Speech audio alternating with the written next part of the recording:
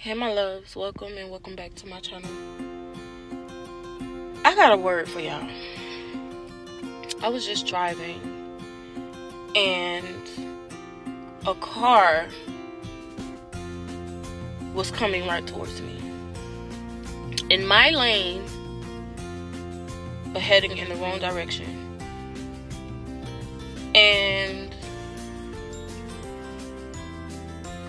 I just thank God. I thank God so much because that could have went so much worse than me having to blow the horn and swerve. That could have been a head-on collision.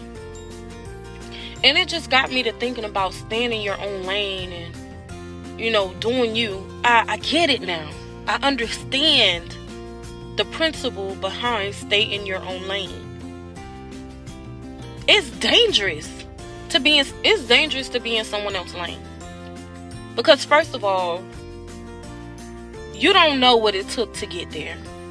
And you don't know what it takes to sustain that position. You have to be okay with being who you are. You have to be okay with being the person that God has created you to be because, see, God makes no mistakes. You are beautiful. You are amazing. You are worthy of the life that you desire for yourself, but you have to believe it.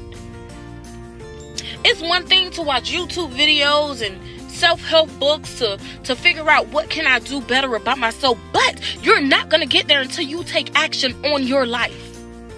You have to do it for you. You have to put what other people think aside and oh, they're going to judge me. Don't care about none of that and fo- focus on you and who you have been called to be.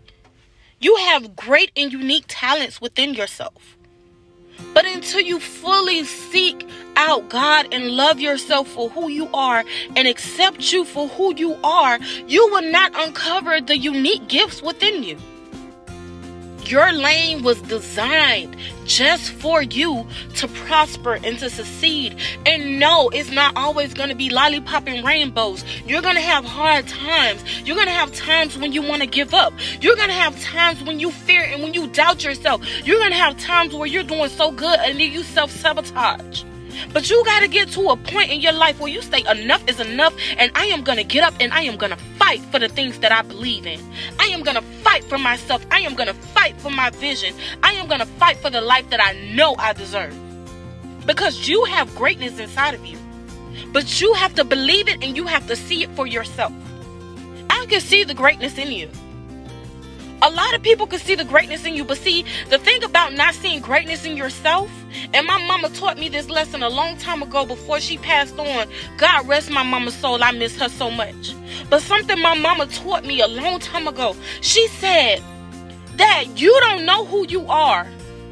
And a person could see that you're a diamond, but all you see yourself as is glass and they see right through you. They could see the value in you. They could see that you're a diamond, but they're not going to tell you your value because they're going to stick around. They're going to reap the benefits of you not knowing who you are. Stand up for yourself. Appreciate yourself. Celebrate yourself. Set many goals and long term goals, but set many goals for now and work towards those goals. And then start working towards your long term goals. You can accomplish anything you put your mind to. Nothing in this world that you can't accomplish. There's nothing in this world that you cannot be. You could do anything you put your mind to. God has equipped us with every gift and talent that we need to succeed in who we are and what we're here to be, what our purpose is here. Stop sleeping on yourself. Get up and move. Let me tell you something. It's somebody right now who's waiting for your story, who's waiting for your gift, who's waiting for your talent. That's going to awaken their gift and their talent that sleep inside of them. But they're waiting for you to pull it out of them. And God used us in mysterious ways. That special talent that you have, that unique talent that you have, you may overlook it or think nothing of it, but it's something. It's something. Get up and use it. Put action. Put action under your gifts. Use them. And God will add on to you.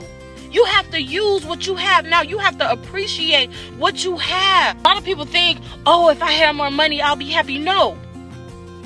If you can't sustain now what you have, if you can't maintain now what you have, how are you going to handle more? Gratitude. Gratitude is the word of the day. Gratitude. You have to be grateful. You have to have a heart of gratitude for everything that you have. I don't care if you're living in the projects. I don't care if you're living in a 50 store penthouse. You have to be grateful for what you have to move to the next level. Appreciate your little jalopy. Appreciate what you have now. So when the bigger things do come, not only do you appreciate them, you know how to handle them and take care of them and maintain them. And it's not that God don't want to bless us in this season now. He wants you to know how to appreciate what you have so that he can add on to you. He has not forgotten about you. He has not left you out. Work on you and the things that you know that are inside of you a lot of times we know what our gifts and talents are, but we don't believe in ourselves, or we doubt ourselves, or we be doing so good and we self sabotage. We all do it. But you got to get to that breaking point where you change your mindset. See, it's a mindset thing. You have to change your mindset. You got to change how you view things. You have to be aware. You have to be mindful. And you have to be prayed up. Because, honey, let me tell you, when God go to blessing you, those people that you think your best friend and your sister, your brother, they all gonna be looking at you with a side eye because they really not wishing for you to do well. That's why you got to cut off your your energy from certain people in order to elevate in life. Choose you. Put yourself first. Nothing above God, of course. But you have to learn to start choosing you over other people. Don't just speak life in your friends' ideas. Speak life over your life. Speak life over your children's life.